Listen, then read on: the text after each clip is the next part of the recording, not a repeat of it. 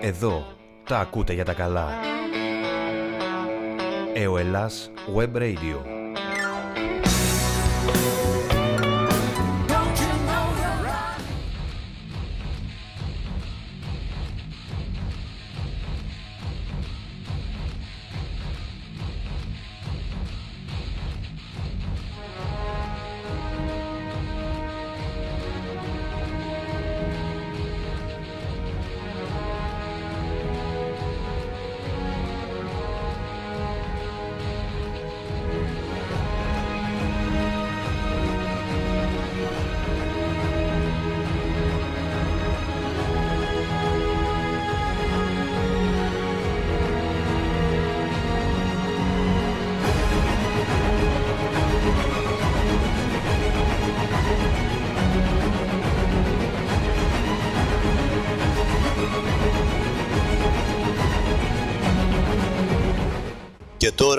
Εκπομπή Αποκάλυψης με τον δημοσιογράφο και συγγραφέα Ιωάννη Παπαζήση.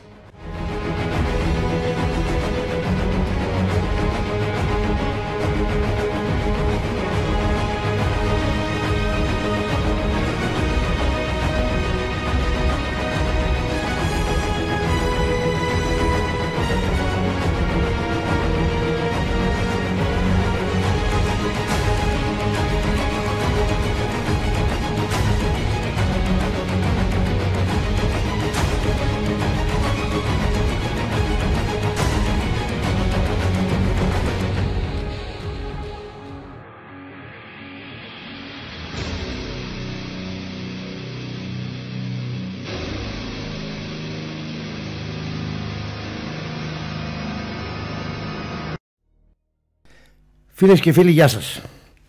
Το πρώτο, το πρώτο που πρέπει να κάνω στη σημερινή εκπομπή είναι να ευχαριστήσω δημόσια με όλη μου την καρδιά τον καλό μου φίλο τον Βαλάντι από τη Βέρεια για το υπέροχο σήμα που έφτιαξε και το εμπλούτησε με τη φωνή του. Αλλά και γιατί οπτικοποιεί τις εκπομπές και τις κάνει κάτι σαν τηλεοπτικές ούτως ώστε να βλέπονται πιο ευχάριστα και με τα ντοκουμέντα τα οποία αναφέρομαι επί της οθόνης. Τον ευχαριστώ δημόσια με όλη μου την καρδιά και το κάνει κερδός όπως και εμείς εδώ βέβαια. Και αυτό είναι που δίνει μεγαλύτερη αξία σε αυτό που κάνει. Σε οποιοδήποτε το κάνει. Όπως και εμείς εδώ πέρα όλοι είμαστε κερδός. Κάποιοι βάζουν και από την τσέπη τους. Κάποιοι όχι βέβαια, αλλά κανείς δεν αμείβεται να τα λέμε αυτά. Κάποιοι όπως ο, πρόδρο, όπως ο πρόδρομος. και γιατί να το κρύψουμε άλλωστε που είπε και ο έξω από εδώ. Λοιπόν, τι πρέπει να πούμε εξ αρχής. Αυτοί οι μαθητευόμενοι μάγοι του ΣΥΡΙΖΑ κατάφεραν να βάλουν τους πάντες απέναντί τους την Ευρωπαϊκή Ένωση εξ αρχής τον Πούτιν κοροϊδεύοντάς τον και τους Αμερικανούς πλέον αποφυλακίζοντας το ξηρό τον ξηρό που δεν είχαν κανένα λόγο να το κάνουν. Και αυτή τη στιγμή εκποιούν όχι εκποιούν, βουτά, βουτάνε κυριολεκτικά τα λεφτά από τα αποθεματικά από τα ασφαλιστικά ταμεία από τους δήμους τα οποία είναι δικά μας. Προσέξτε τι εννοώ γιατί τα λέω αυτά τώρα γιατί λέω δικό μας. Εμένα εκεί που εργάζομαι και αμείβομαι και ζω το σπίτι μου γιατί δεν βγάζω από τη δημοσιογραφία τίποτα αυτός ο άνθρωπος πληρώνει για μένα κάποια ένσημα κάθε μήνα Αυτά τα λεφτά μπαίνουν στα ασφαλιστικά ταμεία, στα αποθεματικά για να πάρω εγώ σύνταξη όταν δεν θα μπορώ να εργάζομαι πλέον. Δηλαδή τώρα που είμαι στα 48, όταν θα φτάσω στα 65 μου και δεν θα μπορώ να εργάζομαι, αποταμιεύω εγώ λεφτά από τα 18 μου που εργάζομαι, από τα 16 μάλλον, αλλά αφαιρώ, βάζω δύο χρόνια γιατί αφαιρώ του στρατού. Για να καταλάβετε. Λοιπόν, 30 ολόκληρα έτη εγώ εργάζομαι και έχω κάποια ένσημα. Αυτά λοιπόν είναι λεφτά που βάζαν, αντί να μου τα δώσουν εμένα οι εργοδότες μου, τα βάζαν σε μια τράπεζα που, λέγαν, που λεγόταν αποθεματικό ασφαλιστικού ταμείου. Δικά μου λεφτά δηλαδή. Δικά μου, όχι δικά τους. Σαν να τα είχα στην τράπεζα εγώ δηλαδή αυτά τα λεφτά και το κίζονται. Για να πάρω σύνταξη όταν δεν θα μπορώ να εργαστώ πια. Και πήγαν και τα πήραν χωρίς να με ρωτήσουν οι μαθητευόμενοι μάγοι και τα δίνουν έξω για να ξεπληρώσουν τις αμαρτίες των αλλωνών. Αν κύριοι μαθητευόμενοι μάγοι του ΣΥΡΙΖΑ τα λέγατε αυτά προεκλογικώς ότι θα ξετινάξουμε τα ασφαλιστικά ταμεία και θα πάρουμε τις καταθέσεις σας που έχετε εκεί όχι δεν θα βγαίνετε κυβέρνηση αλλά θα σας έστελναν στο διάβολο όλοι μαζί. Αυτό έχω να πω. Είστε μία από τα ίδια με τους άλλους. Κοροϊδεύετε, κοροϊδέψατε και εσείς τον ελληνικό λαό γιατί άντε και πήρατε αυτόν τον μήνα τα αποθεματικά άντε και τον άλλον μετά τι θα κάνετε; Μετά τι θα κάνετε; Πέστε μου ε, δεν μας δίνει κανείς τους μία απάντηση γι' αυτό. Ας περάσουν αυτοί οι δύο μήνες και βλέπουμε τι λέτε έτσι είναι. Αυτοί οι δύο μήνες περνάνε χωρίς να το πάρεις χαμπάρι. Μέχρι τον Αύγουστο έχουμε να δίνουμε άλλα 7,5 δις. Ούτε ένα ούτε δύο. 7,5 δις. Πού θα τα βρείτε αυτά; Αν πουλάτε τρέλα. Εμείς από εδώ και γραπτός από την ελεύθερη ώρα προτείναμε κάποια πράγματα. Το πρώτο που προτείναμε είναι να πάρουν πίσω τα 233 δις από τις τράπεζες. Αυτά που τα, που τα πήραν ως δάνειο από έξω και τα δώσαν στις τράπεζες για ανακεφαλαιοποίηση και τα χρεώσαν σε εμάς. Και οι τράπεζες φυσικά τα βγάλανε σε offshore εταιρείες ή σε υποκαταστήματά τους στο εξωτερικό. Δεν ήταν τόσο ηλίθιοι να τα αφήσουν εδώ. Από τη στιγμή που μπήκε εγγυητή στο ελληνικό δημόσιο για τα ομόλογα που εκδίδανε, ότι αν δεν τα πληρώσουν αυτοί να τα πληρώσει το ελληνικό δημόσιο. Δεν ήταν τόσο ηλίθιοι να πάνε να τα πληρώσουν. Καταλάβατε λοιπόν. Εκδίδανε ομόλογα για, για λογαριασμό του ελληνικού κράτους, παίρναν τα φράγκα και μετά πήγε πήρε το, το ελληνικό κράτος δανεικά, δανεικά για να τα ξεπληρώσει. Γιατί δεν τα πληρώνουν αυτοί. Πολύ απλά. Πολύ απλά τα πράγματα. Έχουμε σου λέει 11 εκατομμύρια κοθόνια να τα φορτώσουμε στις πλάτες τους. Έτσι μας βλέπουν. Ένας τρόπος είναι αυτός. Ο δεύτερος τρόπος ήταν Κύριε Κατρούγκαλε πριν τις εκλογές φωνάζατε και τσιρίζατε ότι τα μνημόνια είναι παράνομα και αντισυνταγματικά ψηφισμένα. Έχω τις δηλώσεις σας κύριε Κατρούγκαλε. Γιατί αμέσως μετά τις εκλογές γίνατε βουβαντώνης κύριε Κατρούγκαλε, συνταγματολόγε. Γιατί κύριε Κατρούγκαλε, ε, και αναθεωρήσατε και λέτε ότι πλέον το χρέος είναι νόμιμο και θα το ξεπληρώσουμε. Πώς είναι νόμιμο κύριε Κατρούγκαλε; Από τη στιγμή που δημιουργήθηκε παράνομα, πώς δημιουργήθηκε παράνομα, όταν η Ελλάδα δανείζεται με 6% και τα 2, το 2% πηγαίνει στη Γερμανία και η Γερμανία δανείζεται από την Ευρωπαϊκή Κεντρική Τράπεζα με 0,30% ε, αυτό το χρέος είναι παράνομο. Και επαχθές. Εσείς τα λέγατε, δεν τα λέω εγώ. Ότι είναι παράνομα τα μνημόνια ότι είναι αντισυνταγματικά. Ότι καταρχήν λέγατε ότι δεν ψηφίστηκαν με τον τρόπο που έπρεπε στη Βουλή. Καθώς ορίζει το Σύνταγμα. Γιατί δεν μιλάτε τώρα; Μ; Γιατί δεν ακυρώνετε τα μνημόνια να ησυχάσετε κι εσείς και εμείς και όλοι; Μ; Γιατί; Κάποιος λόγος υπάρχει τότε. Και δεν το κάνετε. Έτσι δεν είναι. Κάποιος λόγος σίγουρα υπάρχει. Αναμένουμε να τον μάθουμε. Και πιστεύω ότι σύντομα θα τον μάθουμε τον λόγο για τον οποίο μας πουλάτε τόση τρέλα. Και εσείς και οι υπόλοιποι. Βλέπε Βαρουφάκης και λυπή και λυπή και λυπή. Εκεί πέρα. Για να μην πω για τους λαθρομετανάστες. Εκεί δεν αλλάξατε πορεία. Όχι. Εκεί ήσασταν τέτοιοι και πριν. Λάθρομεταναστονολάγνη. Ήσασταν πάντοτε. Ελληνολάγνη δεν ήσασταν ποτέ. Αλλά τάξατε στον κόσμο λεφτά. Και ο Έλληνας βάζει τα λεφτά πάνω από την πατρίδα. Γι' αυτό και σας ψήφισε. Έτσι είναι κυρίες και κύριοι. Η αλήθεια είναι πικρή. Και πονάει. Και εγώ δεν βρίσκομαι εδώ για να κάνω ακροματικότητες. Βρίσκομαι εδώ για να λέω την αλήθεια. Και σε όποιον αρέσει. Σε όποιον δεν αρέσει. Ας αλλάξει κανάλι. Καταλάβατε; Α πάει σε κάποιο άλλο διαδικτυακό κανάλι να ακούσει εκεί, να του χαϊδεύουν τα αυτιά, να του λένε ότι οι βλακίες του αρέσουν. Εγώ θα μιλάω με την πεζοδρομιακή γλώσσα, αλλά θα λέω την αλήθεια. Αυτός ήμουνα, αυτός είμαι, αυτός θα μείνω.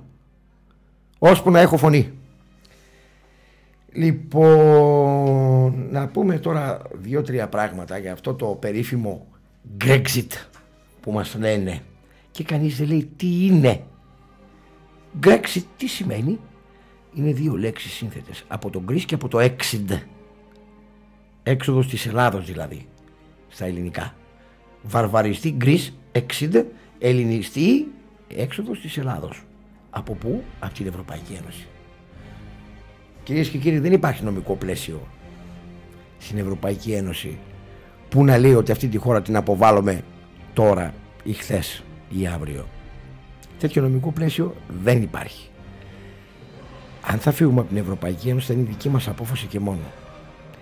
Αν θα χρεοκοπήσουμε εντός ευρώ, τεινάζουμε όλη την Ευρωπαϊκή Ένωση στον αέρα, μαζί με εμάς. Κάτι σαν το κούγκι δηλαδή, που ο καλόγερος Σαμουήλ πήρε και τους Τούρκους μαζί. Αν όμως πάμε στη δραχμή και κάνουμε χρεοκοπία, τότε ανατιναζόμαστε από μόνοι μας και οι υπόλοιποι όλοι την κλειτώνουν. Αυτό λένε οι πλέον έγκυροι οικονομολόγοι. Ψάξτε λίγο στο διαδίκτυο και θα δείτε. Τι εννοώ θα καταλάβετε γιατί 160 δις τα οποία έχουμε εδώ πέρα μέσα στην Ελλάδα και κυκλοφορούν αν ξαφνικά χρεοκοπήσουμε θα γίνουν ορολογιακή βόμβα μέσα στην Ευρωπαϊκή Ένωση. Αν όμως κάνουμε τη βλακεία και τους τα δώσουμε και πάρουμε δραχμές τότε αλλή μονό μας θα χρεοκοπήσουμε μετά. Γιατί το λέω αυτό, γιατί πολύ απλά όταν μια χώρα χρεοκοπεί εάν έχει το εθνικό της νόμισμα αυτό το νόμισμα δεν έχει αξία εκτός της χώρας της. Και μετά τι θα κάνεις; Διακρατικές συμφωνίες και ανταλλαγή προϊόντων. Όπως έγινε την τελευταία φορά που χρεοκοπήσαμε το 1932 επί Ελευθερίου Βενιζέλου, του γνωστού Βενιζέλου, όχι του σημερινού. Αυτού που έχει αγάλματα και βοδούσες σχεδόν σε κάθε πόλη, να μην πω σε όλες τις πόλεις της Ελλάδας. Ναι, αλλά τότε έβγαζε, παρήγαγε η Ελλάδα πολλά προϊόντα. Είχε και, και επάρκεια, είχε και να δώσει και έξω. Και τι έκανε λοιπόν, εκτύπωνε, εκτύπωνε νόμισμα μόνος του, του κρατικός μηχανισμός, έλεγε στον αγρότη, τι παρήγαγες, αυτά, πάρε χρήματα φέρτα, έδωνε μετά αυτά τα προϊόντα σε μια χώρα του εξωτερικού και έπαιρνε από εκεί μηχανήματα που δεν μπορούσε να παράγει και μετά τα, τα πουλούσε στην ελληνική αγορά. Τα παίρναν οι εμπόροι και τα μεταπουλούσαν στο, στον κόσμο. Αυτό γινόταν και σας πληροφορώ η αγροτική και η κτηνοτροφική παραγωγή μας την εποχή εκείνη ανέβηκε πάρα πολύ διότι όλοι είχαν εξασφαλισμένη πώληση της παραγωγής τους. Βέβαια. 8% ανάπτυξη της είχαμε. Και αυτό όταν το είδαν οι ξένοι φρίκαραν αυτοί στους οποίους χρωστούσαμε και τους είπαμε δεν θα πάρετε μία. Και το 38 μας πήγαν στο Διεθνές Δικαστήριο της Χάγης. Και κατάφερε ο Ιωάννης Μεταξάς να πει ένα τεράστιο όχι, το πρώτο όχι, και να μην πάρουν τίποτα και να ακυρωθεί και το χρέος μας. Επίσημα πλέον. Καταλάβατε. Αυτή ήταν η τελευταία φορά που χρεοκόπησε η χώρα μας. Σήμερα κυρίες και κύριοι δεν έχουμε επάρκεια τροφίμων. Σε κάποια προϊόντα έχουμε υπερεπάρκεια, κάνουμε και εξαγωγές. Ελιές, λάδι κτλ. κτλ. Υπάρχουν όμως βασικότατα προϊόντα στα οποία δεν έχουμε επάρκεια. Στο, στο μαλακό σιτάρι το οποίο, το οποίο φτιάχνει το ψωμί έχουμε 30% παραγωγή από αυτή που χρειαζόμαστε. Στο κρέα, το χοιρινό και το μοσχαρίσιο έχουμε περίπου 40% από αυτό που χρειαζόμαστε παραγωγή. Το ίδιο και στο γάλα τι θα γίνει εκεί; Πέστε μου, τη στιγμή που οι σπόροι που έχουμε είναι όλοι της Μονσάντο, αν αύριο παρέσουμε χροκοπία, η Μονσάντο δεν θα μας δώσει σπόρους. Όλα είναι μονοητή φυτά υβρίδια ό,τι παίρνουν οι αγρότες. Αν αύριο βαρέσεις χροκοπία, δεν θα σου δώσουν σπόρους. Οι αγρότες δεν έχουν κρατήσει σπόρους όμως, γιατί εσείς τους υποχρεώσατε να μην το κάνουν. Όχι εσείς του ΣΥΡΙΖΑ, οι προηγούμενοι. Τάζοντάς τους λαγούς με πατραχίλια επιδοτήσεις κτλ. κτλ. Για να μην κρατήσουν τους σπόρους που είχαν οι άνθρωποι. Και από τη στιγμή που είδαν οι ξένοι ότι πλέον δεν έχουμε σπόρους, γύρω στο 90 έγινε αυτό, τότε είπαν θα αγοράζετε τους σπόρους μας από εδώ και πέρα. Πως τώρα τα δίναμε τζάμπα. Από το 85 μέχρι το 90 τα δίναν τζάμπα. Και οι αγρότες γλυκάθηκαν. Α, σου λέει. Δεν θα τυραννιέμαι να κρατάω σπόρο, να αποξηραίνω, να κάνω, να ράνω. Το παίρνω τζάμπα, παίρνω και επιδοτήσεις, παίρνω και αποζημιώσεις σε περίπτωση θεομηνίας. Παίρνω, παίρνω, παίρνω. Άρα τι καλά είμαι εγώ εδώ. Πού να φανταστούν αγνοί χωρικοί; Τι τους περίμενε. Μετά έπρεπε να αγοράζουν το σπόρο. Έπρεπε να αγοράζουν και ειδικά τη ζυζανιοκτώνα. Γιατί εκείνη η σπόροι ήταν φτιαγμένη έτσι ώστε να μπορούν να παράγουν τροφή ε, προϊόντα μόνο με τα ζυζανιοκτώνα ενώ οι γηγενείς σπόροι δεν χρειαζόταν ζυζανιοκτώνα και έφτασαν να έχονται στο σημείο μία ή άλλη μετά και ο ένας μετά τον άλλο να σταματάνε να γίνονται αγρότες να είναι αγρότες και να έρχονται στις πόλεις και να γιγαντώνονται οι πόλεις ξέρω πολλούς τέτοιους φίλες και φίλοι αν λοιπόν πας σε χροκοπία τι γίνεται τώρα αυτή τη στιγμή εδώ; Πώς θα θρέψεις 11 εκατομμύρια Έλληνες; Πού θα βρεις προϊόντα επιπλέον για να τα στείλεις έξω και να πάρεις αυτά που σου λείπουν; Γιατί άντε θα στείλεις λάδι και ηλιές και θα πάρεις μαλακό σιτάρι και λίγο και γάλα και κρέας. Ναι αλλά αυτοκίνητα, μηχανήματα, πετρέλαιο, με τι θα πάρεις; Αν δεν, δεν σπείρει όλος ο κόσμος. Αν δεν σπείρει όλος ο κόσμος, με τι θα πάρεις; Και έρχομαι εγώ και λέω, τα κατέγραψα πρόσφατα κυρίες και κύριοι στην ελεύθερη ώρα. Ένας νόμος και μόνο είναι αρκετός. Ποιος; Θα κάνετε το εξής. Θα νομοθετήσετε και θα πείτε. Δεν θα εισαχθεί ούτε ένα κιλό ξένου προϊόντος εάν δεν τελειώσει η ελληνική παραγωγή. Οτιδήποτε και αν είναι αυτό. Οτιδήποτε. Ακόμα και 10% να παράγουμε από αυτά που χρειαζόμαστε. Πρώτα θα τελειώσει αυτό το 10% και μετά θα γίνει εισαγωγή. Οι κυρώσεις θα είναι αυστηρές προς τους εμπόρους.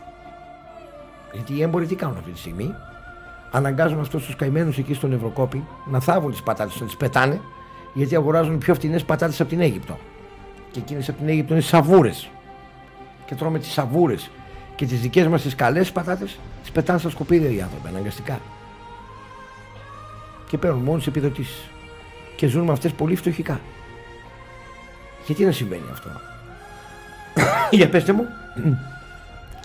Πώς θα δημιουργούνταν σωστή κατανομή τιμών; Μια επιτροπή. Άνθρωποι από τον κρατικό μηχανισμό. Έμποροι και αγρότες. Θα έβρισκαν την τιμή που θα συμφέρει όλους. Όμορφα ωραία. Όχι τρέλες. Και από τη στιγμή που ο αγρότης θα είχε εξασφαλισμένη την πώληση της παραγωγής του αυτό θα το μάθαιναν και οι άλλοι. Και σε χρόνο μηδέν κυρίες και κύριοι θα σπέρνανε όλοι. Όλοι! Τι είναι μια σπορά και μια μας συγκομιδή τέσσερις μήνες. Σε τέσσερις μήνες θα μπορούσες με έξι το πολύ θα μπορούσες να έχεις αυτάρκεια σε τρόφιμα τόσο απλό είναι και να ανοίξουν χιλιάδες νέες θέσεις εργασίας τόσο απλό είναι κύριοι πιο απλό δεν γίνεται μα η Ευρωπαϊκή Ένωση μας υποχρέωσε να κάνουμε αυτό εκείνο τ' άλλο ούτε που με ενδιαφέρει. Εμένα με ενδιαφέρει θα έλεγα κύριε η αυτάρκεια της χώρας μου σε τρόφιμα. Άντε να μην βαρέσω χρεοκοπία εντός της Ευρωπαϊκής Ένωσης και σας τεινάξω όλους μαζί στον αέρα. Έτσι θα τους έλεγα. Όταν ο αγρότης θα βλέπει, ο κτηνοτρόφος θα βλέπει ότι είναι εξασφαλισμένη η παραγωγή του γάλακτό του, οι 100 αγελάδες του θα γινόταν μετά 200. Και ένας άλλος πιο δίπλα θα έλεγε δεν βάζω και εγώ γελάδια. Να πως εξασφαλίζει και το κρέας και το γάλα. Έτσι γίνονται αυτά κυρίες και κύριοι. Και σε ένα με δύο χρόνια, γιατί εκεί θες λίγο περισσότερο καιρό, θα ήξερες ότι έχεις αυτάρκεια για τον κόσμο σου σε τρόφιμα. Μόνο τότε κάνεις υπερήφανη εξωτερική πολιτική. Μόνο τότε μπορείς να πας και να την πεις, κυρία Μέρκελ, δεν σε έχω καμία ανάγκη Τώρα θα παίζω εγώ και θα χορεύεις εσύ. Έτσι γίνονται αυτές οι δουλειές κυρίες και κύριοι. Όχι ξεβράκωτοι στα αγκούρια να πουλάμε τρέλα. Αντί να βάλουν φυλακή τους τρεις προηγούμενους πρωθυπουργούς Σαμαρά, Παπαδήμα, Παπανδρέου που ψήφισαν τα μνημόνια και έφτασαν τη χώρα μας εδώ μέσα σε πέντε χρόνια γιατί σαν σήμερα πριν πέντε χρόνια αυτό το εβραϊκό τέρας ο Γιώργος Παπανδρέου ανακοίνωσε στο Καστελόριζο σαν σήμερα 23 Απριλίου 10 ότι θα μπούμε στο του. Σαν σήμερα πέρασαν κιόλας πέντε χρόνια κυρίες και κύριοι. Και αυτό το εβραϊκό κάθαρμα περπατά ακόμα ανάμεσά μας ζωντανό. Έπρεπε να εκτελεστεί, να περάσει στρατοδικείο και να εκτελεστεί. Δεν έπρεπε να ζει. Κατέστρεψε μια χώρα. Και αυτή η χώρα δεν μπορεί να ξαναγυρίσει πίσω. Εκεί που ήταν το 2009. Και θα σας πω εγώ το γιατί. Αναγκάστηκαν οι εμποροί, οι, οι, οι βιοτέχνες και οι βιομηχανοί να ρίξουν πολύ τις τιμές για να μπορέσουν να πουλήσουν. Μείωσαν και τις μισθούς, τους μισθούς των εργατών και τώρα ένας που έπαιρνε 800 ευρώ και παίρνει 500 δεν μπορεί να το ξαναδώσει 800 γιατί δεν μπορεί να ξαναπάει την τιμή του προϊόντος εκεί που ήταν το 2009. Καταλάβατε τι εννοώ. Αυτή είναι η πραγματικότητα. Και γιατί είπα το Γιωργάκη εβραϊκό τέρας. Γιατί η μητέρα του και η γιαγιά του είναι εβραϊκής καταγωγής. Η Μαργαρίτα Τσάντα και η Μινέικο, η Σοφία Μινέικο, η γιαγιά του και η Μαργαρίτα Τσάντα η μητέρα του είναι Ουγγροεβραία η μία, Αμερικανοεβραία η άλλη. Ναι. Άρα λοιπόν από τον πατέρα του ήταν κατά το 50% Έλληνας και από τη μητέρα του 100% Εβραίος άρα ο ίδιος είναι 75% εβραϊκής καταγωγής και 25% ελληνικής καταγωγής υπερίσχυσε το 75 έναντι του 25 και έκανε τα κέφια στους ομοεθνείς του, στην παρέα του. Βλέπε Ρότσιλτ, Σόρος, Ροκφέλερ και λοιπούς. Σιωνιστάς τραπεζίτας. Και από εκείνη την ώρα κυρίες και κύριοι άρχισε ο κατήφορος. Και φτάσαμε εδώ. Πέντε χιλιάδες άνθρωποι ως τώρα αυτοκτόνησαν, μια μεγάλη κομμόπολη. Ποιος θα πληρώσει για αυτούς, κύριε Σαμαρά, κύριε Βενιζέλο, κύριε Παπαδήμα, κύριε Παπανδρέου. Το αίμα τους επί των κεφαλών σας, κύριε. Επί των κεφαλών σας και επί των τέκνων σας. Ναι. Η ιστορία θα σας γράψει με, τις, με τα πιο μαύρα γράμματα. Γράψατε τη χειρότερη ιστορία, σελίδα της ιστορίας της Ελλάδος. Της πολιτικής ιστορίας της Ελλάδος. Θα χαρακτηριστείτε μετά από 150 ή 200 χρόνια ως οι μεγαλύτεροι προδότες που έβγαλε αυτό το έθνος. Από την μακρόχρονη πορεία του των χιλιάδων ετών ο εφιάλτης θα είναι άγιος μπροστά σας μετά από 200 χρόνια δεν μην πω και μετά από 100 θα χαρακτηρίζεται άγιος μπροστά σας ναι αυτή είναι η πραγματικότητα αν ήταν στο χέρι μου θα σας είχα περάσει από στρατοδικείο και θα σας εκτολούσα ναι, θα επανέφερα, θα, θα επανέφερα τη θανατική ποινή για εσχάτη προδοσία. Γιατί αυτό κάνατε κύριε. Εσχάτη προδοσία. Και δεν είστε εκεί ως πληρωμένοι να μην πω τι, αλλά ως στρατευόμενοι υπέρ του ελληνικού έθνους είστε. Από στρατοδικείο πρέπει να περάσετε. Όπως πέρασαν και οι έξι. Πολιτικοί ήταν και αυτοί σαν και εσάς. Από στρατοδικείο πέρασαν όμως και πήγανε στο γουδί. Εκεί πρέπει να πάτε. Καταλάβατε. Αλλά ποιος να το κάνει; Ποιος, λέω τώρα εγώ; Όταν αυτοί που πιστεύαμε ότι θα σας βάλουν φυλακή σας χαϊδεύουν ή του ΣΥΡΙΖΑ βλέπει την απόφαση για τον άνθρωπο που έκρυψε τη λίστα της Λαγκάρντ Ξέρετε ποιος είναι, να μην λέω το όνομα. Τον συχαίνομαι τόσο που δεν θέλω να λέω ούτε το όνομά του. Πιστεύαμε ότι θα βάλετε κάποιος φυλακή. Ανταυτού τους αθωώνεται κιόλας. Λοιπόν, θέλω να σας απαριθμίσω σήμερα τους λόγους για τους οποίους δεν θα έπρεπε να βρισκόμαστε στην Ευρωπαϊκή Ένωση. Πρώτον δεν υπάρχει δημοκρατία στην Ευρωπαϊκή Ένωση. Και γιατί το λέω; Το άρθρο 3 της συνθήκης για τη λειτουργία της Ευρωπαϊκής Ένωσης ξεκαθαρίζει ότι η Ένωση έχει αποκλειστική αρμοδιότητα στην Τελωνιακή Ένωση. Θέσπιση των κανόνων ανταγωνισμού που είναι αναγκαίοι για τη λειτουργία της εσωτερικής αγοράς. Νομισματική πολιτική για τα κράτη-μέλη με, με νόμισμα το ευρώ. Κοινή αλλιευτική πολιτική και κοινή εμπορική πολιτική. Εδώ το πρόβλημα είναι μαθηματικό. Αν υποθέσουμε ότι ένα εξάρτητο κράτος ασκεί πολιτική με συνοχή, δηλαδή είτε μόνο δεξιά είτε μόνο αριστερά, τότε οι πιθανότητες στα 27 κράτη που απαρτίζουν την Ευρωπαϊκή Ένωση να έχουν κοινή πολιτική είναι 6 ώρες και 30 λεπτά κάθε 100.000 χρόνια. Όπως το ακούτε. Και, από την και αυτό υπό την υπεραπροστευμένη να πούμε προϋπόθεση ότι η δεξιά και η αριστερά στην Ευρώπη είναι ίδια. Κάτι που είναι μεγάλο λάθος βέβαια. Ότι υπάρχει μόνο δεξιά εκεί που είναι και μόνο αριστερά, κάτι που είναι επίσης λάθος. Και ότι τα κράτη δεν ενδιαφέρονται για τα εθνικά τους συμφέροντα. Κάτι που είναι τερατοδό λάθος και αυτό. Για να έχουμε ένα κίνημα όπως μια Ευρώπη των οικολόγων, μια Ευρώπη των εργαζομένων, να επικρατήσει 27 χρόνια, οι πιθανότητε βάσης των παραπάνω είναι 1,2 δεύτερα ανά ένα τρισεκατομμύριο χρόνια. Να είμαστε δηλαδή όλοι οι Ευρωπαίοι με το ίδιο μυαλό.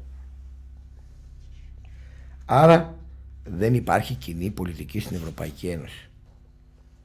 Και οι ευρωπαϊκοί θεσμοί είναι σε συνεχή συγκατοίκηση δεξιάς αριστεράς κτλ. κτλ. Λοιπόν, οι πολίτες συνειδητοποιώντας ότι δεν αλλάζει τίποτα με τις εκλογές απέχουν. Το σλόγγαν άλλαξε την Ευρώπη υπάρχει από την αρχή για παράδειγμα σε αφίσες του Γαλλικού Σοσιαλιστικού Κόμματος το 1979 και, και στου ιδίου κόμματος εκείνης του 2009. 30 ολόκληρα έτη γράφουν το ίδιο. το θέμα είναι όμως ότι οι νόμοι που ψηφίζονται στο Ευρωκοινοβούλιο γίνονται από επιτροπές που κανείς δεν ξέρει που βρίσκονται και ποιοι τις απαρτίζουν. Έρχονται μπροστά στα μάτια των βουλευτών νόμοι, ογκοδέστατοι και έχουν ελάχιστο χρόνο να διαβάσουν και να πούν ναι ή όχι ή να προτείνουν κάποια αλλαγή. Κάτι που είναι φύση αδύνατον. Και παίρνουν τηλέφωνο στα του Υπουργείου, τι να ψηφίσουμε, ναι πες, όχι πες, κτλ. Και έτσι ψηφίζουν. Άρα λοιπόν αυτή η Ευρώπη με κοινή πολιτική και κοινά συμφέροντα που πολλοί ευαγγελίζονται είναι αδύνατη. Είναι μια μεγάλη απάτη στα μυαλά αυτών που το λένε. Λοιπόν, η Ραγδαία έγινε ένας δεύτερος λόγος που δεν θα έπρεπε να είμαστε στην Ευρωπαϊκή Ένωση είναι η ραγδαία αύξηση του δημοσίου χρέους. Βέβαια από την ώρα που το ευρώ το δανειζόμαστε από την Ευρωπαϊκή Κεντρική Τράπεζα το χρέος μας εκτοξεύθηκε. Χάσαμε κάθε δικαίωμα να τυπώνουμε το δικό μας νόμισμα και το αγοράζουμε με τόκο από την Ευρωπαϊκή Κεντρική Τράπεζα. Βέβαια αυτό γινόταν και παλαιότερα με την δραχμή. Αλλά είχαμε κάθε δικαίωμα ότι οποιαδήποτε ώρα θέλαμε να το, να το σταματήσουμε αυτό και να την τυπώνουμε μόνοι μας χωρίς να πληρώνουμε τόκο σε κανέναν. Τώρα δεν μπορούμε να το κάνουμε. Δεν μπορούμε να τα κάνουμε. Ναι. Και τα κράτη χρηματοδοτούν τα ελλείμματά τους μέσω των, των εθνικών τραπεζών τους. Δηλαδή, κόβοντας χρήματα και αυτό δωρεάν, εφόσον η τράπεζα ανήκει στο κράτος όπως είπαμε και είναι κρατική. Τώρα δεν μπορούμε να το κάνουμε αυτό.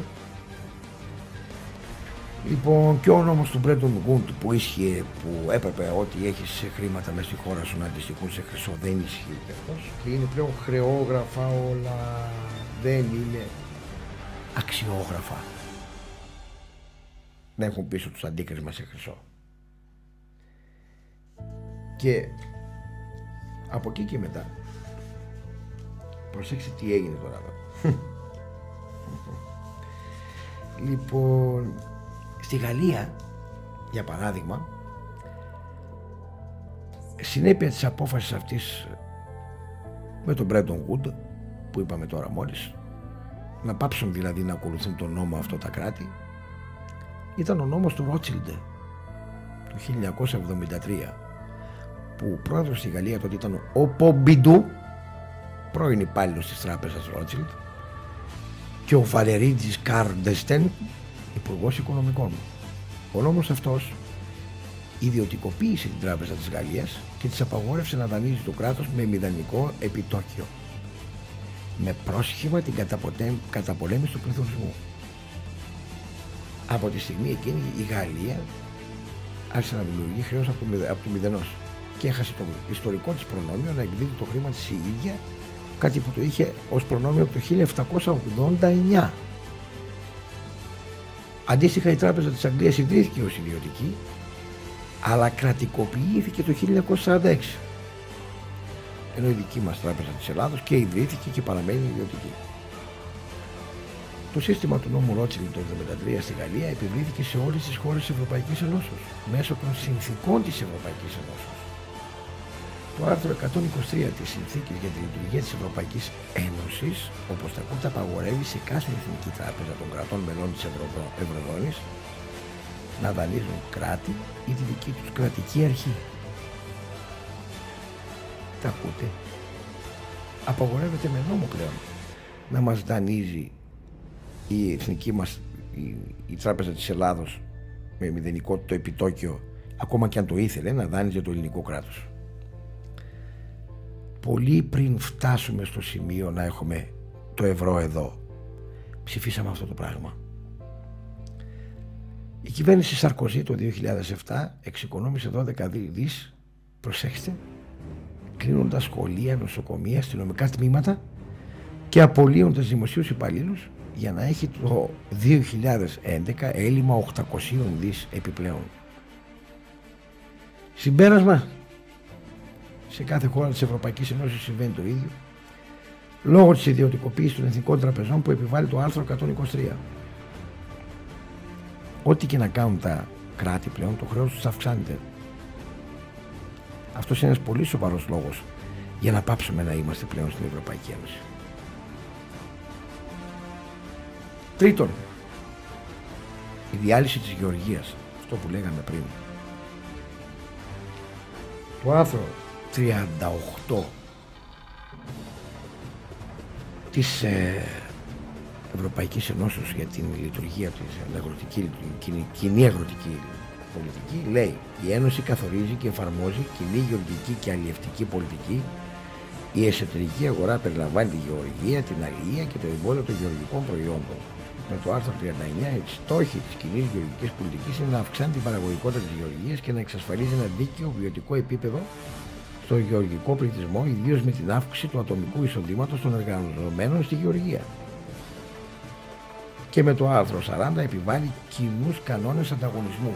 Όμως, η πραγματικότητα ήταν πολύ σκληρή, κυρίε και κύριοι. Δέστε τώρα ένα παράδειγμα αυτό.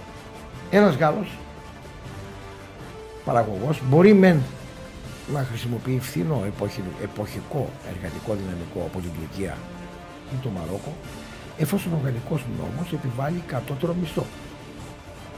Αλλά αντίστοιχα ένας Γερμανός παραγωγός μπορεί να είναι ακόμα πιο από, ανταγωνιστικός από τον Γάλλο διότι για τη Γερμανία δεν υπάρχει κατώτερος μισθός. Αλλά πώς γίνεται αυτά που μας λένε να γίνονται πραγματικότητα; Για να γίνει ο Γάλλος πιο παραγωγός, πιο ανταγωνιστικός θα πρέπει να καταργήσει τον κατώτατο μισθό και να χρησιμοποιεί δούλους όπως στην περίπτωση της Μανολάδας εδώ. Ο απολογισμός χρόνου 30 χρόνων κοινή αγροτικής πολιτικής οι αριθμοί των αγροτών στην Ευρωπαϊκή Ένωση μειώθηκαν κατά πολύ.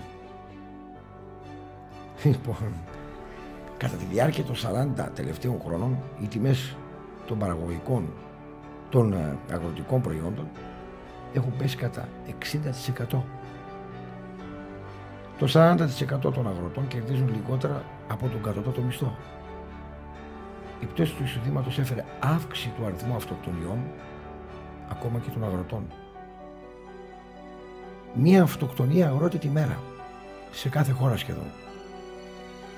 Η προσπάθεια παραγωγών, των παραγωγών να στραφούν σε μικρές παραγωγές βιολογικές ή άλλες για να επιβιώσουν οδήγησε σε εγκατάλειψη των μεγάλων καλλιεργειών και όσων απέμειναν σε μεγάλη χρήση εντομοκτώνων και χημικών.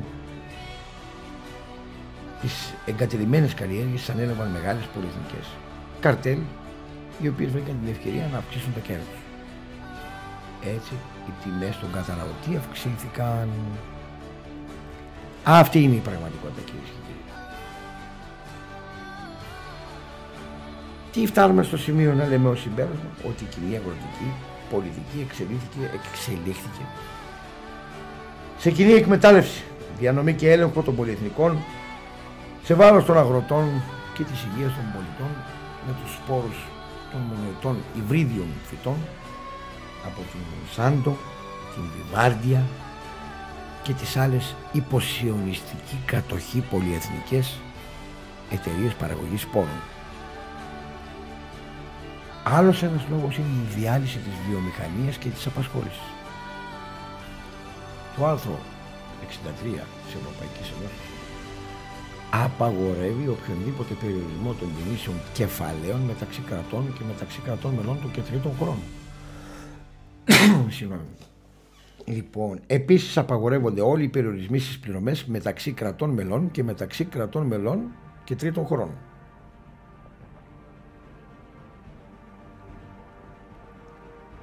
Τι σημαίνει αυτό με άλλα λόγια; Ότι δίνεται το δικαίωμα στις επιχειρήσεις να κλείσουν τα εργοστάσια τους στην Ευρωπαϊκή Ένωση και να τα μεταφέρουν σε τρίτες χώρες με πολύ φθηνά ημερομίσθια.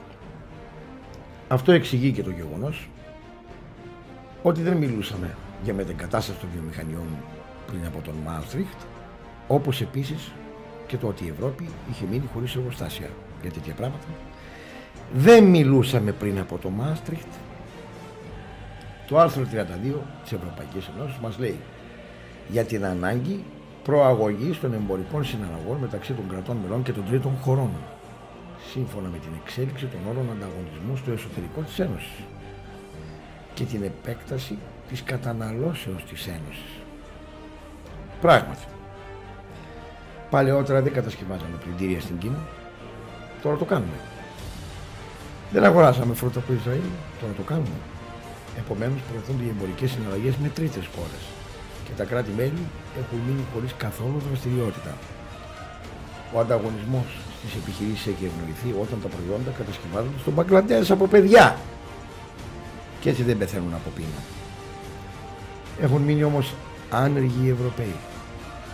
Ο ανταγωνισμός στις επιχειρήσεις έχει ευνοηθεί όταν τα προϊόντα κατασκευάζονται στον Μπαγκλαντές από παιδιά, όπως είπαμε.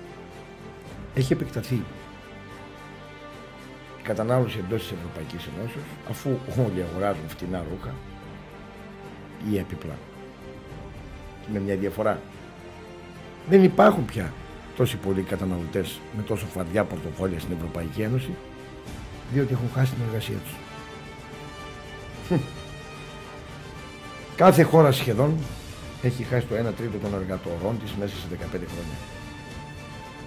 Κάθε μέρα χάνονται πάνω από 500 θέσεις εργασίας σε κάθε χώρα. Κάθε μέρα χάνεται πάνω από, από ένα εργοστάσιο σε κάθε χώρα. Κάθε μέρα πάνω από 1500 πολίτες περνάνε κάτω από το όριο της φτώχειας. Σε κάθε χώρα της Ευρωπαϊκής Ένωσης. Σε άλλες περισσότεροι, σε άλλες λιγότεροι. Αλλά πάνω από 1500. Τέλος του άρθρου 82, 282 της Ευρωπαϊκής Ενώσεως για την Κεντρική Ευρωπαϊκή Τράπεζα μας ενημερώνει ότι ο κύριος στόχος του Ευρωπαϊκού Συστήματος των Κεντρικών Τραπεζών είναι η διατήρηση σταθερότητας των τιμών. Σε ποιο συμπέρασμα καταλήγουμε λοιπόν ότι η Ευρωπαϊκή Ένωση έχει οικοδομηθεί σε συνθήκες που ενδιαφέρονται μόνο για τον ανταγωνισμό, τη συγκράτηση του πληθωρισμού, τη συγκράτηση των τιμών. Δηλαδή ό,τι ενδιαφέρει πρωτίστως έναν τραπεζίτη κυρίες και κύριοι και όχι έναν πολίτη. Δεν υπάρχει ούτε ένα άρθρο στις συνθήκες για την ανάγκη περιορισμού της ανεργίας ή για την ανάγκη αύξησης της απασχόλησης ή την προστασία της τεχνογνωσίας της κάθε χώρας. Αντίθετα, η Ευρωπαϊκή Ένωση ενθαρρύνει την αποβιομηχάνηση της Ευρώπης και την εφαρμογή κανόνων άγριου ανταγωνισμού που τελικά συμφέρει τις πολυεθνικές που στείλουν τα εργοστάσια τους στις τρίτες χώρες. όπου είναι πάμφθηνα τα εργατικά μεροκάματα. Πάμε σε έναν λόγο ακόμα. Στο μεταναστευτικό ρεύμα, εδώ μας πονάει πολύ το όλο θέμα. Η Ευρωπαϊκή Ένωση σκοπίμως ενθαρρύνει τη μετανάστευση εξαθλειωμένων και ταλαιπωρημένων ανθρώπων που αναγκάζονται να αναζητήσουν εργασία στις χώρες της Ευρώπης υπό το πρόσχημα δίθεν της παροχής ασύλου ώστε ακριβώς να χρησιμοποιηθούν ως φθηνά εργατικά χέρια. Το άρθρο 67 λέει ότι η Ευρωπαϊκή Ένωση εξασφαλίζει την απουσία ελέγχων των προσώπων στα εσωτερικά σύνορα και αναπτύσσει κοινή πολιτική στους τομείς του ασύλου, της μετανάστευσης και του ελέγχου των εξωτερικών σύνορων. Το δε άρθρο 69 λέει ότι η Ένωση αναπτύσσει κοινή μεταναστευτική πολιτική και περιγράφει τους τρόπους. Τους τρόπους. Τα κράτη-μέλη δεν έχουν κανένα λόγο. Δηλαδή, μας βάλαν και υπογράψαμε τις συνθήκες του Βλήνου και Σέγγεν στις οποίες λένε για να προστατεύσουν τα δικά τους κράτη. Γιατί δεν μπορεί κάποιος να μπει κατευθείαν στη Γερμανία ή στη Δανία, από εδώ θα περάσει. Και σου λέει τι θα κάνουμε, θα βάλουμε τους Έλληνες, τους Ιταλούς και τους Ισπανούς που από εκεί περνάνε όλοι, να υπογράψουν ότι όποιος μπει στις χώρες τους, από τις χώρες τους στην Ευρωπαϊκή Ένωση και ανέβει πιο πάνω, όπου συλληφθεί, θα πηγαίνει πίσω στη χώρα από τον που μπήκε μέσα, από την οποία μπήκε μέσα στην Ευρωπαϊκή Ένωση. Όλοι αυτοί λοιπόν οι άνθρωποι που μπήκαν στην Ελλάδα και από εδώ πήγαν προς τα πάνω σε χρόνο μηδέν βάσει των συνθηκών που υπογράψαμε τους επιστρέφουν πίσω μόλις τους πιάνουν χθες μου είπε ένας φίλος από τη Σερβία ότι όσοι πέρασαν από εδώ από την Ιδωμένη για πάνω από αυτούς που ήρθαν από τα τουρκικά παράλια όσους δεν προλάβαν να βουτήξουν οι Σκοπιανοί και να τους στείλουν από τα σύνορα πίσω εδώ τους βουτούσαν οι Σέρβοι αστυνομικοί και πακέτο τους στέλναν πίσω εδώ. Ούτε αυτοί δεν τους δέχονται. Όχι οι Γερμανοί, οι Δανείοι και οι Σουηδοί, ούτε οι Σέρβοι και οι Σκοπιανοί που δεν υπέγραψαν τις συνθήκες αυτές. Αντιλαμβάνεσαι τι εννοώ. Για αυτούς φαινόταν σαν Έλληνες τα χαρτιά πίσω. Πίσω στην Ελλάδα, από εκεί ήρθατε πίσω. Παράνομο περάσατε. Αντιλαμβάνεστε τι, τι μας περιμένει κυρίες και κύριοι; Με τους μαθητευόμενους μάγους που μπλέξαμε με το θέμα της λαθρομετανάστευσης λέω. Λοιπόν, και φυσικά η αποτυχία της κοινής μεταναστευτικής πολιτικής ήταν πλήρης. Παρά τα μέτρα που δήθεν έλαβε η Ευρωπαϊκή Ένωση. Μια άλλη παράξενη σύμπτωση είναι ότι η Ευρωπαϊκή μπλε κάρτα κατά το πρότυπο της Αμερικανικής πράσινης κάρτας. Προφανώς κοστίζει πολύ λιγότερο να έρθουν μυαλά από τη Σενεγάλη, το Πακιστάν ή την Ινδονησία στην Ευρώπη έτοιμα. Διότι έχει υπολογιστεί ότι το κράτος για έναν νέο με ανώτερη εκπαίδευση σε χώρα της Ευρωπαϊκής Ενώσης το κόστος ανέρχεται στα 250.000 ευρώ γέννα μητέρας, μεγάλωμα του παιδιού, σχολείο, πανεπιστήμιο μέχρι τα 22, διατροφή κτλ. κτλ ενώ από την Ασία ή την Αφρική έρχεται έτοιμος και μάλιστα θα αμείβεται λιγότερο από ότι οι ντόπιοι. Και δεν θα έχει πληρώσει το κράτος αυτό λεφτά για να τον, έχεις, να τον σπουδάσει αυτόν δωρεάν. Για δέστε πως σκέφτονται λοιπόν αυτοί. Μπορούσε μέχρι εκεί να φτάσει το δικό μας το μυαλό.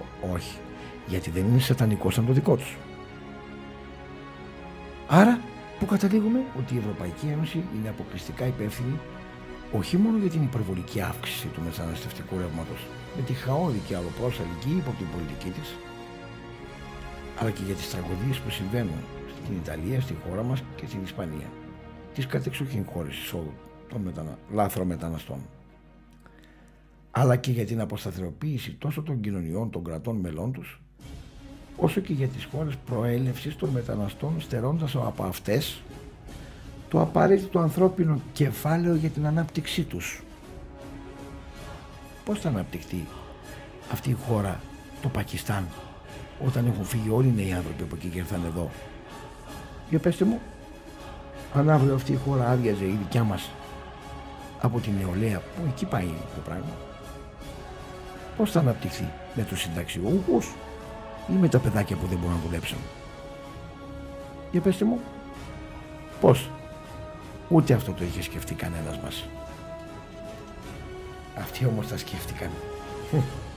Και τα σκέφτηκαν με το χειρότερο τρόπο. Πάμε σε έναν άλλο λόγο για τον οποίο πρέπει να φύγουμε. Την προστασία της δημόσιας υγείας και του περιβάλλοντος. Η Ευρωπαϊκή Ένωση στο άρθρο 169 λέει ότι συμβάλλει στην προστασία της υγείας, της ασφάλειας και των οικονομικών συμφερόντων των καταναλωτών. Καθώς και στην προώθηση του δικαιώματος για ενημέρωση, εκπαίδευση και οργάνωσή τους. Για την υπεράσπιση του συμφερόντων τους, συμφερόντων τους. Με μέτρα θεσπιζόμενα στα πλαίσια της υλοποίησης της εσωτερικής αγοράς. Πράγματι αυτό που κυρίως ενδιαφέρει κυρίως και την Ευρωπαϊκή Ένωση είναι η αγορά και όχι η προστασία των καταναλωτών ή του περιβάλλοντος. Πώς αποδεικνύεται αυτό; Η καταφο... κατακόρυφη αύξηση των φυτοφαρμάκων εξαιτίας των σπόρων των μονοετών, φυτών που αγοράζουμε τον υβρίδιο έχει διαλύσει τα εδάφη και φυσικά τα στομάχια μας. Καταλάβατε; Η συνεργασία της Επιτροπής με εταιρείες όπως η Μονσάντο και η BASF είναι ένα έγκλημα συνεχές και μη μου πείτε ότι ενδιαφέρονται για το περιβάλλον και συνεργάζονται με αυτές τις εταιρείες, δεν θα σας πιστέψει κανείς αν μου το πείτε αυτό. Η Ευρωπαϊκή Ένωση επιβάλλει στα κράτη-μέλη την εισαγωγή των μεταλλαγμένων πλέον. Τον Ιούλιο του 2010 η Επιτροπή ενέκρινε την καλλιέργεια 6 νέων ποικιλιών καλαμποκιού γενετικά τροποποιημένων για κατανάλωση από άνθρωπο ή ζώα. Και αν δεν τα τρώμε εμείς κυρίες και κύριοι στα, από τα ράφια του σούπερ μάρκετ, τα τρώνε τα ζώα ως ζωοτροφές. Και από εκεί φτάνουν στα δικά μας τομάχια. Στις 29 Εβδόμου 2010 η Επιτροπή αυτή επαναενέκρινε τη χρήση ζωικών αλεύρων υπεύθυνα για την όσο των τρελών αγελάδων και έκτοτε απαγορευμένα κρίνοντας ακούστε το αυτό ότι είναι αμεληταίος ο κίνδυνος για τη χρήση τους ως τροφή για ζώα, πουλερικά και ψάρια στις ηχθειοκαλλιέργειες. Ναι. Αυτή η Επιτροπή η Αμαρτωλή με οδηγία στις 5 Πέμπτου του 2007, σας πάω λίγο πιο πίσω, επέτρεψε την χρήση 10% ορυκτελαίου που είναι λάδια για μηχανές σε τυποποιημένα τρόφιμα όπως μαγιονέζες, παγωτά και τα λοιπά.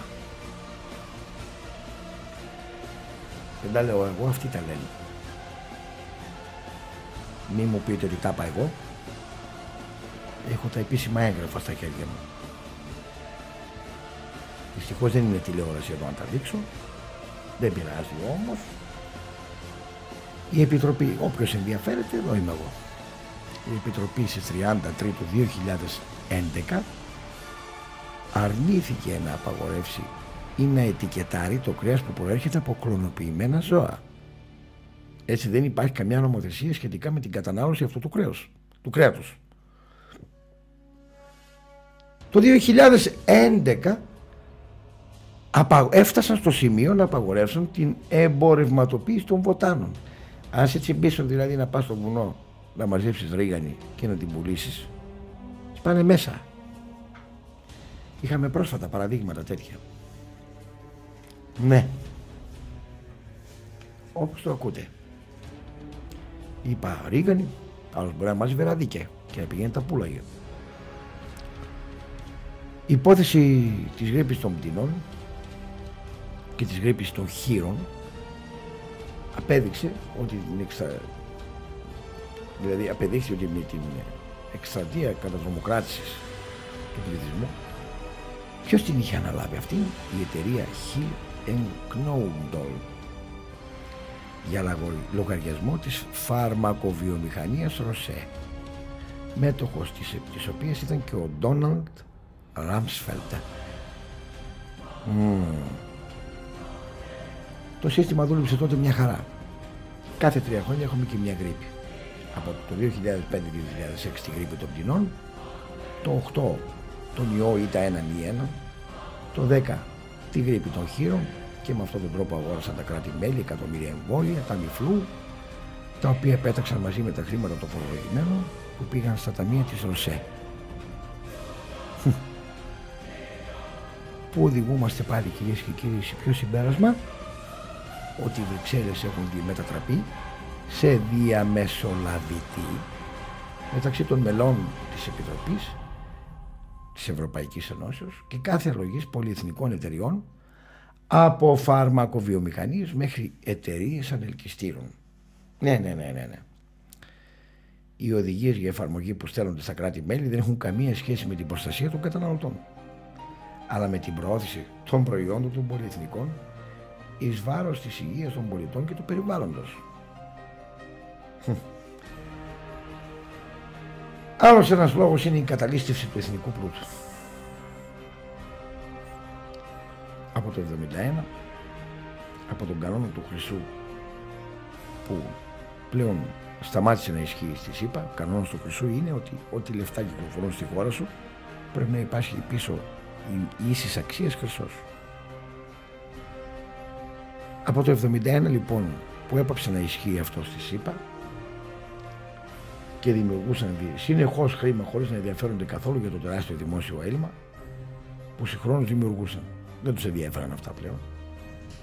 Την εποχή εκείνης όμως οι συνθήκες δεν ήταν ευνοϊκές για την εγκαθίδρυση της παγκοσμιοποίησης δηλαδή του καθεστώτος πλήρως ασυνδοσίας του κεφαλαίου υπήρχε ο ψυχρός πόλεμος ίσχυαν περιορισμοί και έλεγχοι του κεφαλαίου το παγκόσμιο εμπόριο προϊόντων και υπηρεσίες ρυθμιζόταν βάσει νομοθεσίας που προστάτευε τους βιομηχανικούς τομείς. Έλα όμως που μέσα σε 20 χρόνια άλλαξαν όλα. Η Σοβιετική Ένωση κατάρριψε, οι περιορισμοί και οι έλεγχοι για την κυκλοφορία του κεφαλαίου ήρθησαν και πλέον το παγκόσμιο εμπόριο έχει απορριθμιστεί πλήρως. Στην Ευρώπη αυτό συνέβη χάρη στη συνθήκη του Μάστερ και καταλήστευσαν με αυτή τη μέθοδο τα κράτη και το δημόσιο έλλειμμα έγινε τεράστιο και ξεπουλιέται με αυτόν τον τρόπο η δημόσια περιουσία. Σε όλες τις κυβερνήσεις η μόνη συνταγή που προτείνεται είναι η ιδιωτικοποίηση έναντι πινακίου φακής. Η πλήση δε εγκεφάλου σε όλους μας για να δεχθούμε αυτό το πράγμα έγινε πολύ εύκολο, πολύ εύκολα. Με το γνωστό επιχείρημα, οι δημόσιοι υπάλληλοι είναι τεμπέληδες, το κράτος χάνει χρήματα και το έργο, στο έργο αυτό βοήθησαν και τα συνδικάτα. Με τις απεργίες, με τα έτσι, με τα αλλιώς, με τα παραπέρα. Τα γνωρίζουμε. Βέβαια. Να σας φέρω ένα παράδειγμα. Θέλουν εδώ στη χώρα μας να ιδιωτικοποιήσουν το νερό. Στο Παρίσι, από τη στιγμή που έγινε αυτό, η τιμή του νερού ανέβηκε κατά 300%. Πρακτική αυτή, την πρακτική αυτή επιβεβαιώνει το άρθρο 106 της Ευρωπαϊκής Ενώσης. Οι επιχειρήσεις που είναι επιφορτισμένες με τη διαχείριση υπηρεσιών γενικού οικονομικού συμφέροντος ή που έχουν χαρακτήρα δημοσιονομικού μονοπωλίου υπόκεινται στους κανόνες ανταγωνισμού. Και αν κάποιο κράτος τολμήσει να αποκλίνει, η, η Επιτροπή μεριμνά για την εφαρμογή των διατάξεων του παρόντος άρθρου και απευθύνει κατάλληλες οδηγίες ή αποφάσεις προς τα κράτη-μέλη. Ωστόσο η Επιτροπή έκρινε ότι η συγχώνευση Ολυμπιακής και Αιτζίαν στην Ελλάδα δεν συνιστά παραβίαση των κανόνων του ανταγωνισμού. Λοιπόν... Πού καταλήγουμε πάλι; Ότι η Ευρωπαϊκή Ένωση έχει δημιουργηθεί κάτι εικόνα και ομοίως στον ΗΠΑ όπου η έννοια κοινωνία ή δημόσιο αγαθό είναι άγνωστες.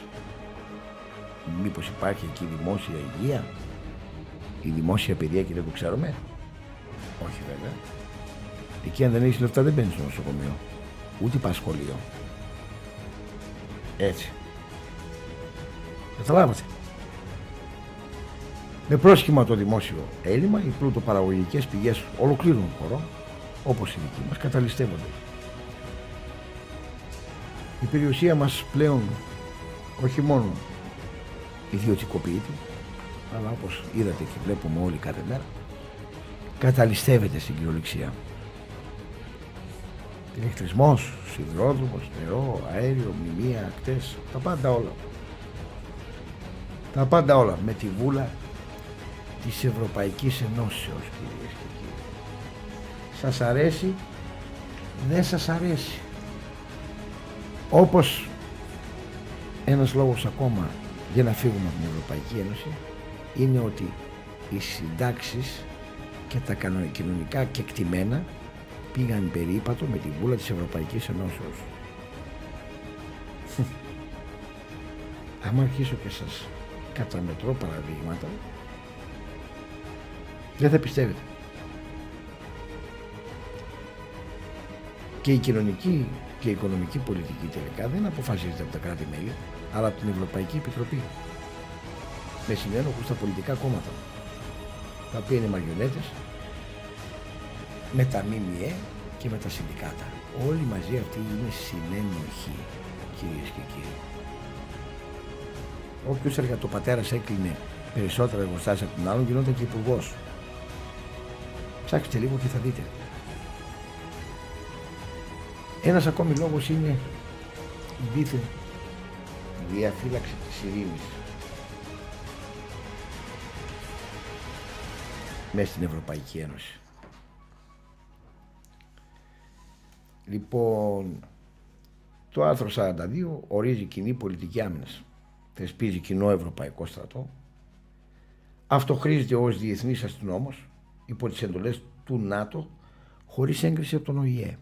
Δηλαδή η Ευρωπαϊκή Ένωση έγινε υποχείριο του ΝΑΤΟ χωρίς καμία έγκριση από τον ΟΗΕ.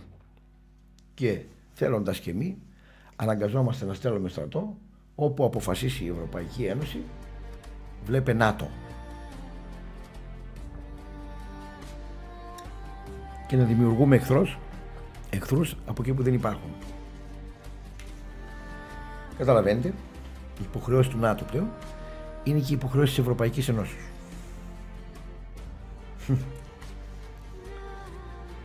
Θέλετε αποδείξεις; Πετε μου πόσα ευρωπαϊκά κράτη δεν υποστήριξαν τη ΣΥΠΑ στον πόλεμο εναντίον του Ιράκ. Πετε μου πόσα να μην αρχίσω και δεν έχει τελειωμό το πράγμα. Δεν έχει τελειωμό το πράγμα να αρχίσω και λέω τέτοια. Ε; Μια περίεργη σύμπτωση.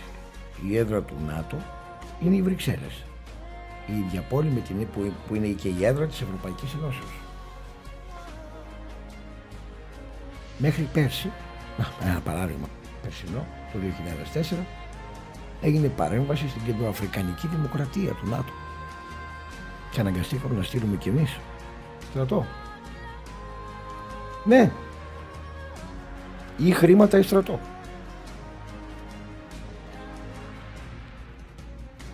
Ο ΙΜΕ. Πού πάνε τα χρήματά μας. Πού πάνε τα παλικάρια μας χαμένα. Μπορεί η ιδέα της Ενωμένης Ευρώπης να κέρδισε έδαφος επειδή υποσχόταν διαρκή ειρήνη μεταξύ των χωρών της Ευρώπης, εν τούτης επρόκειτο για πρόσδεση στο άρμα των ΗΠΑ. Όπως πολιτικά και οικονομικά, έτσι και στον τομέα της άμυνας, η Ευρωπαϊκή Ένωση αποτελεί έναν ευρωπαϊκό βραχείο αναβιτρίνα του ΝΑΤΟ. Πάμε στον τελευταίο λόγο, κατ' εμέ τον δέκατο, για τον οποίο, γιατί πρέπει να κλείσουμε την εκπομπή, θα έπρεπε να βγούμε από την Ευρωπαϊκή Ένωση. Ποιος είναι αυτός; Η προάσπιση της εθνικής μας ταυτότητας. Η εντελώς παράλογη σύλληψη της ιδέας της Ευρωπαϊκής Ένωσης εξαναγκάζει χώρες που δεν είχαν δεν έχουν και δεν είχαν κανένα πρακτικό λόγο να έχουν μεταξύ τους τόσο στενές σχέσεις να το κάνουν.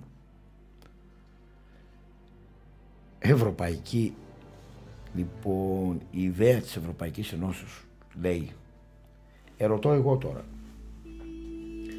είμαι το ίδιο πράγμα εγώ πολιτισμικά με τον Γερμανό, τον Βέλγο, τον Ολλανδό. Έχουν την ίδια ιστορία με μένα αυτοί. Όχι βέβαια. Προγονεί τους ήταν οι Βίκινγκς. Οι Ούνοι. Οι Οστρογότηθοι. Και οι Βυσιγότηθοι. Των Ευρωπαίων.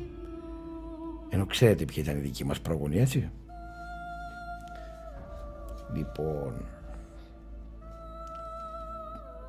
η Ευρωπαϊκή Ένωση μέσω των κοινοτικών πόρων που στην ουσία πρόκειται για, για χρήματα των φορολογουμένων της, δηλαδή και δικά μας. Τα οποία απλά διαχειρίζονται κατά το δοκούνι η Επιτροπή. Δίνει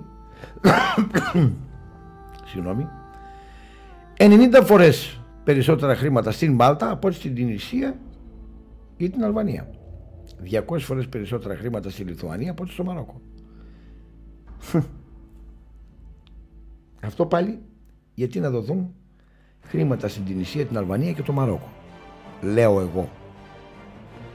Είτε μας αρέσει είτε όχι το ευρωπαϊκό οικοδόμημα είναι ένα ρατσιστικό οικοδόμημα ένα κλαμπ λευκών. Με ποια λογική πρέπει τα συμφέροντα της χώρας μας να ταυτιστούν με την Πολωνία τη Φιλανδία ή τη Λιθουανία λέω τρεις χώρες τυχαία ενώ με τις χώρες με τις οποίες έχει ιστορικές σχέσεις και εμπορικές συναλλαγές η χώρα μας όπως είναι η Αίγυπτος και η Έγκυς Ανατολή και τα Βαλκάνια δεν επιτρέπεται να έχουμε σχέσεις ε; Να ένα ωραίο ερώτημα για τους πολιτικά αντιδές μας. Η ελληνική γλώσσα, η γλώσσα μας και ο πολιτισμός μας όπως και η αντίστοιχη Ιταλική, Γαλλική, Πολωνική, Φιλανδική, Πορτογαλική και ούτω καθεξής χάνονται ομογενοποιούνται στο πλαίσιο μιας ένωσης και αντικαθίστανται από την αγγλική γλώσσα και τον αμερικάνικο τρόπο ζωής. Αυτοί λοιπόν, κατ' εμέ είναι οι λόγοι που πρέπει να φύγουμε από την Ευρωπαϊκή Ένωση. Αυτό για να γίνει όμως, θα πρέπει πρώτα να έχουμε αναπτύξει επάρκεια σε τρόφιμα και δικούς μας σπόρους. Μετά να βγάλουμε παράνομα τα μνημόνια και εντός της Ευρωπαϊκής Ένωσης να βαρέσουμε πλήρη χρεοκοπία.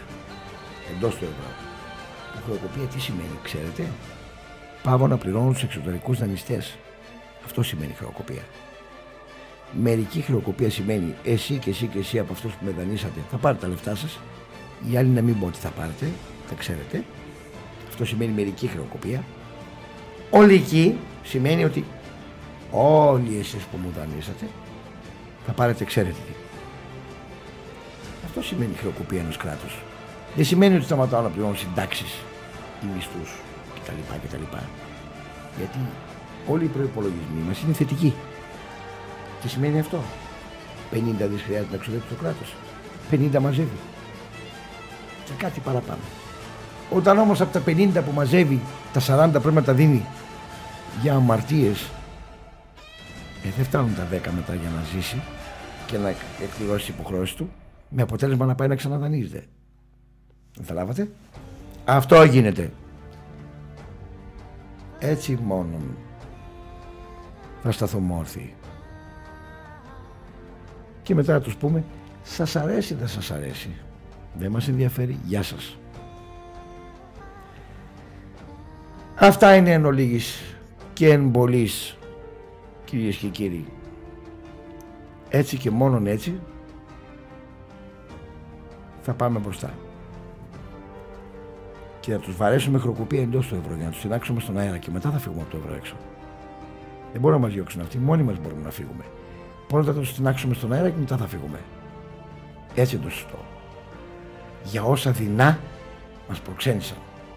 Για τους 5.000 ανθρώπους που ως τώρα αυτοκτόνησαν, θα τους κάνουμε να, να θρυνήσουν δικά τους θύματα διπλάσια. Έτσι πρέπει να γίνει. Για να μην ξαναπειράξουν την Ελλάδα και αφήστε αυτά που λένε μετά θα, θα μολύσουν τους Τούρκους και τον έναν και τον άλλον. Ας κάνω εγώ συμφωνία με τον Ρώσο, στρατιωτική, αλλά αμυντική, προσέξτε, αμυντική, σε επίπεδο πυρηνικών εξοπλισμών Και ας φέρω εγώ εδώ μέσα 20 πυράβλους στο πολέμο και τότε θα σας πω εγώ αν τολμήσει να πλησιάσει κανένας στην Ελλάδα. Βρέστε μου όμως έναν ηγέτη να τα κάνει αυτά. Και πιστέψτε με δεν είναι ο Τσίπρας αυτός που θα τα κάνει αυτά. Να είστε όλοι καλά, γεια σας. Μη φύγετε, ακολουθεί άλλη εκπομπή.